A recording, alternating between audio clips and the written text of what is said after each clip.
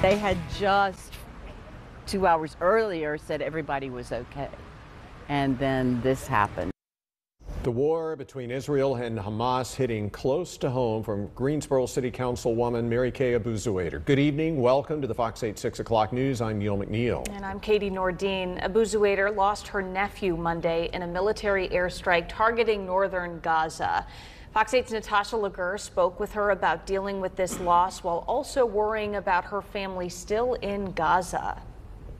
It breaks my heart. My, my emotions were all over the place. Greensboro City Councilwoman Marikay Abuzuaiter is mourning the death of her nephew Hassan Abuzuaiter, killed in an Israeli airstrike Monday at Jabalia's refugee camp in northern Gaza.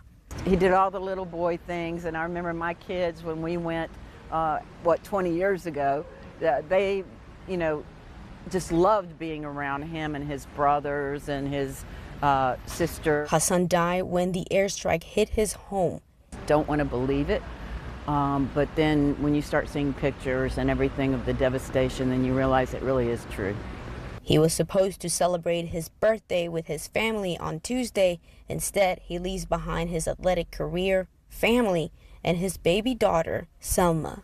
Stressful things for us is we can't comfort his parents and the rest of the family members. That's just wearing on us tremendously right now there would be no way for us to get anything to them because it's in lockdown. Now Mary Kay's family has nowhere to go and leaves behind their home as the war continues. Every day our main goal is to make sure they're okay.